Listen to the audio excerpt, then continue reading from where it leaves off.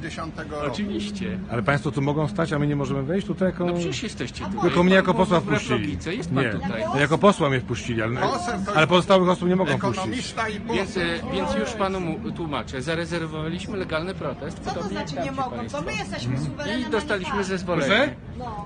Niech pani powie. Jeszcze raz. My jesteśmy suwerenem waszym, a nie pan naszym. A, w ten sposób. No, no. Wy jesteście tutaj za nasze pieniądze, za nasze pieniądze. my czy kto? Z naszych podatków, wy. Ja nie pobieram wynagrodzenia jako poseł. No.